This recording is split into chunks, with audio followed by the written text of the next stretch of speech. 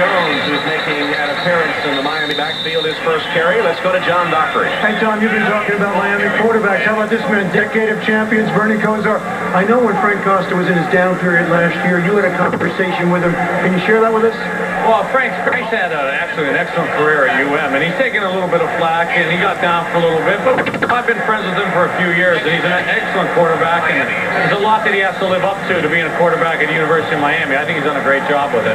What advice do you give him when he was feeling all that pressure and he lost his starting job? Well, you know, all I really told him was just have confidence in yourself, and, uh, you know, don't down, because your time will come again. He's done a great job with it this year. And his time has come again. Thank you, Bernie.